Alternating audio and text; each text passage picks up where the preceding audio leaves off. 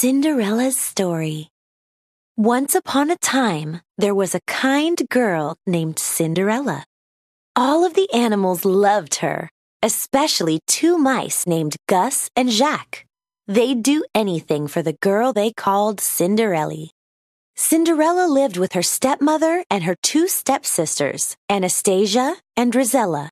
They were very mean to Cinderella, making her work all day cleaning, sewing, and cooking. She tried her best to make them happy. Cinderella's stepmother, Lady Tremaine, was cold, cruel, and jealous of Cinderella's charm and beauty. She enjoyed giving Cinderella extra chores to do, such as bathing her cat Lucifer.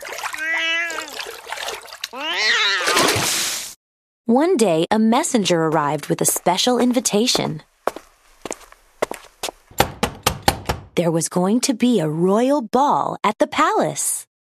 The king wanted his son to find a bride.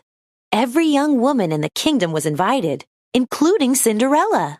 Cinderella was very excited about the ball. In the attic, she found a dress that had belonged to her mother. It was a bit old fashioned, but Cinderella could make it beautiful. Lady Tremaine didn't want Cinderella to go to the ball. She wanted the prince to meet Anastasia and Drizella. Maybe he would marry one of them. Lady Tremaine kept Cinderella busy with chores that would take her all night to finish. While Cinderella was working, the mice and birds fixed her dress. They added ribbons and beads that the two stepsisters had thrown away. Working together, the animals turned a simple dress into a fabulous gown. Cinderella was overjoyed when she saw the dress. Now she could go to the ball. Oh, thank you so much, Cinderella said to Gus, Jaq, and the birds. When the stepsisters saw their old ribbons and beads on Cinderella's dress, they flew into a rage.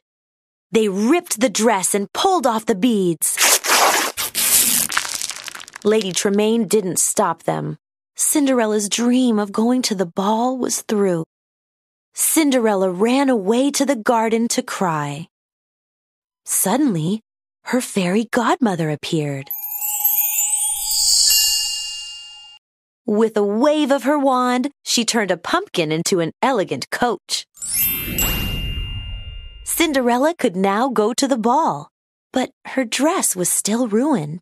Bibbidi bobbidi boo, said the fairy godmother, waving her wand again. Cinderella was now wearing a beautiful gown and sparkling glass slippers. But all of this came with a warning. When the clock struck midnight, the magic spell would wear off. At the ball, Prince Charming couldn't take his eyes off Cinderella. The orchestra played, and the prince began to dance with the wonderful girl whose name he still didn't know. For Cinderella, the night was a dream come true. Before too long, the clock began to strike midnight. Goodbye, Cinderella said, hurrying away. Come back, called the prince. I don't even know your name. As Cinderella fled, one of her glass slippers came off. The prince sent the Grand Duke to find the girl who fit the glass slipper. Lady Tremaine locked Cinderella in the attic. But Cinderella's mouse friends freed her. Then Lady Tremaine tripped the Grand Duke, and the glass slipper shattered.